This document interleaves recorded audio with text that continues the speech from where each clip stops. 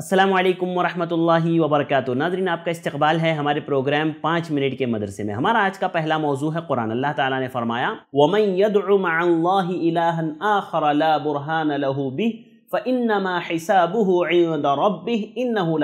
काफिरून।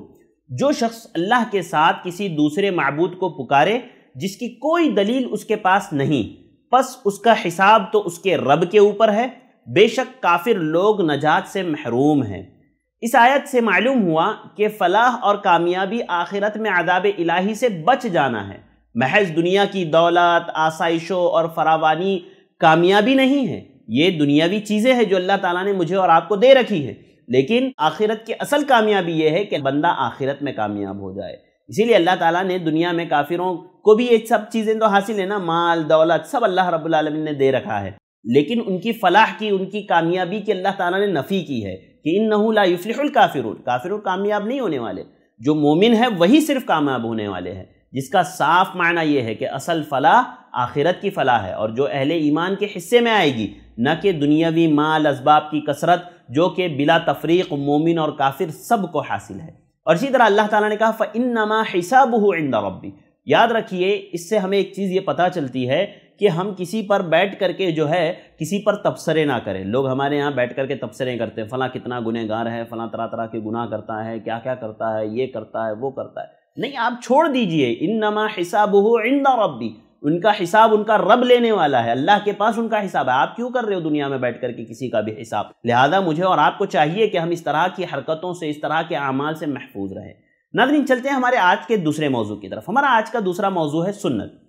सुन्नत में आज हम बात करेंगे सुतरा और मुसल्ली के दरमियान में कितना फासला होना चाहिए। आपने देखा होगा मसाजिद में बहुत सारे लोग हमारे ऐसे होते हैं कि दीवार दो सफ़, तीन सफ़ छोड़ करके वो आ जाते हैं, बीच में खड़े हो जाते हैं, नमाज़ अदा करते रहते हैं। हाँ देखिए, यकीनन सुतरा सुन्नत है, लेकिन उसका अहतमाम होना चाहिए। अल्लाह के नबी सल्लल्लाहु अलैहि वसल्लम ने कितनी ताकीद की है। हती के सुतरे की आपने हाइट तक बता दी। सारी चीज़ें अल्लाह के नबी ने वादे की है। यानी ये अहम है, तभी तो इस पर बहस इतनी हुई है ना? इतने फरमान अल्लाह के नबी सल्लल्लाहु अलैहि वसल्लम की, इतनी अहादीस अल्लाह के नबी सल्लल्लाहु अलैहि वसल्लम की है। हती कि अभी सुतरा और मुसल्ली के दरमियान में कितना फासला होना चाहिए, उसको तक अल्लाह के नबी सल्लल्लाहु अलैहि वसल्लम ने वदाहत कर दी है। तो मुझे और आपको चाहिए कि हम इस तरह की हरकत बिल्कुल ना करें। मस्जिद में भी अगर जा रहे हैं, हम अकेले नमाज़ पढ़ रहे हैं तो हमें चाहिए कि हम सुतरे का अहतमाम करें। अगर दीवार मस्जिद की दूर है तो आप पहली सफ़ में चले जाएँ, या वो सफ़ जिसमें जो है हमारे यहाँ मेंबर रखे होते हैं, उस सफ़ में जाकर के आप सुन्नत पढ़ लें, ताकि आप दीवार से करीब रहें, सुतरे से करीब रहें तो इसका बहुत ख्याल करना चाहिए। हदीस देखिए अनसहलिन कौल काना बैन मुसल्ला रसूल सल्लल्लाहु अलैहि वसल्लम व बैन अलजिदारी ममर रुशाती हज़रत सहल कहते हैं कि अल्लाह के नबी सल्लल्लाहु अलैहि वसल्लम के सजदा करने की जगह और दीवार के दरमियान में एक बकरी के गुजरने तक का फासला होता है। यानी इतना फासला होता है कि एक बकरी का बच्चा उस दरमियान से गुजर जाए।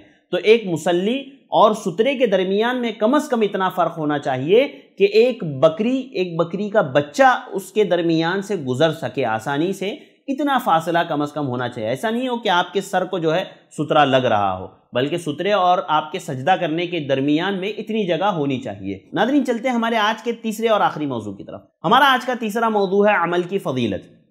अमल की फजीलत में आज हम बात करेंगे इस्तफ़ार की अहमियत। इस्तफ़ार के ताल्लुक से अल्लाह रब्लमिन ने खुद कुरान मजीद में फरमाया फ़कुल तुस्तफ़िर रब्बकुम इन्नहु काना गफ़ारा कि तुम अपने रब से अपने गुनाहों की माफ़ी तलब करो, माफ़ी मांगो अल्लाह रब्बुल आलमीन बख्शने वाला है। उसके साथ क्या करेगा? युरसिलकुम मिदरारा। तुम्हारे इस्तफ़ार का फ़ायदा ये होगा कि अल्लाह रब्बुल आलमीन तुम पर आसमान से खूब बारिश बरसाएगा। तुम पर आसमान से अल्लाह रब्बुल आलमीन खूब बारिश बरसाएगा। वयुम दिदकुम बी अमवाली व बनीन। और याद रखिए, जो लोग बे औलाद हैं ना, उन लोगों को सुनना चाहिए ये चीज़ें। अल्लाह ताला ने कहा वयुम दिदकुम बी अमवाली व बनीन। वो तुम्हें खूब पैदर पे माल और औलाद में तरक्की देगा। अल्लाह रब्बुल आलमीन तुम्हारी औलाद में, तुम्हारे माल में तरक्की देगा। वजल्लकुम जन्नत वजल्लकुम अनहारा। और तुम्हें बागात देगा और तुम्हारे लिए नहरें निकाल देगा। अल्लाह अकबर। कितना बड़ा फ़ायदा है इस्तफ़ार का। अल्लाह रब्बुल आलमीन खुला ऐलान कर रहा है कि तुम अल्लाह से अपने गुनाहों की माफ़ी तलब करो इस्तफ़ार करो। अल्लाह रब्बुल आलमीन तुम्हारे लिए अपने ख़जानों के दरवाज़े खोल देगा।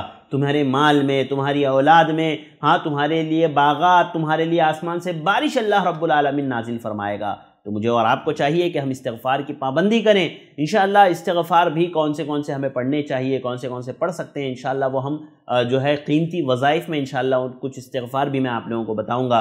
तो नादरीन ज़रूरत इस बात की है कि आप हमारे साथ जुड़े रहें। इसी तरह से हमारा ये प्रोग्राम देखते रहें ताकि मेरा और आपका छोटा मोटा इल्मी फ़ायदा होते रहें। हम अमल करते रहें छोटी छोटी चीज़ें सीखते रहें और उसको अंजाम देते रहें। अल्लाह रब्बुल से दुआ करते हैं। अल्लाह ताला मुझे और आपको अमल की तोफ़ी अता फ़रमाए। आमीन। अल्लाम वरहमल वबरक दीन की बात आम करने में आई प्लस टीवी की मदद करें। पेटीएम या गूगल पे के लिए हमारे नंबर्स पर ट्रांसफ़र करें।